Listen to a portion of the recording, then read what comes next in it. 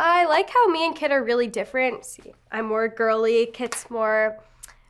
She's very different. She doesn't really put herself out there as much as she should, and I really admire her for that.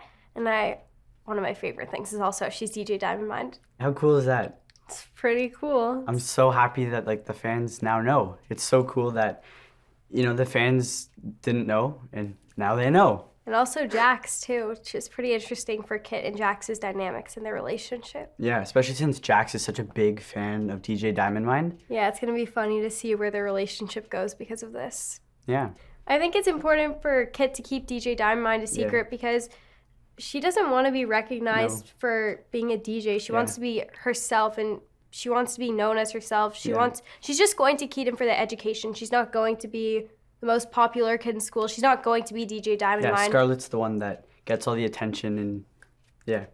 Yeah, if her sister was DJ Diamond Mind, she would be out there. She would be telling the whole world.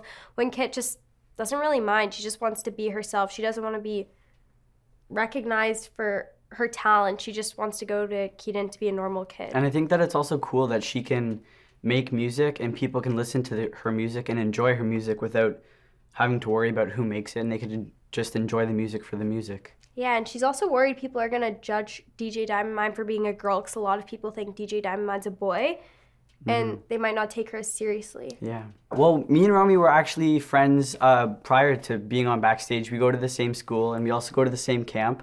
And Well, so we used to. we used to. And so it's kind of weird that we both got the roles on the same show together and it's made us even better friends. Yeah, I like consider him one of my best friends. I could tell him anything.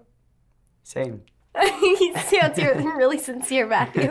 we I hang out a lot. We chill uh, a lot where the food is because there's great food. There's really Free good food. Free food, that's a lot. We also hang out a lot in the trailers. Yeah. Um, I like Yeah, to fun. think mine and Aviva's is the party trailer. No, mine and Josh's. We we each shared trailers. So me and Josh shared a trailer. Me and her and Aviva. Aviva shared a trailer. And so whenever we weren't filming, we would either chill where the food was or we would chill. in the trailers. Yeah. And it would be really fun because as a cast, all 12 of us are so close. yeah, we got really close over the summer. Yeah, we're like one big family, and like people who came in for days would also join in, and we'd all just hang out where everybody could be because sometimes people are all over the place, Yeah. And we'd all. And it was also fun watching the dancers because when the music people film the music things, there's also the dance people filming their dance scenes. And so it was fun being able to go over to the dance side of things and watching that because that's something that we don't get to do. Yeah, it's amazing how close we all are considering we didn't all film together. Yeah. I barely crossovered with Devin's character and Yeah. Melissa, who I almost called Carly, her character's name. Yeah, it was great getting to know everyone. yeah.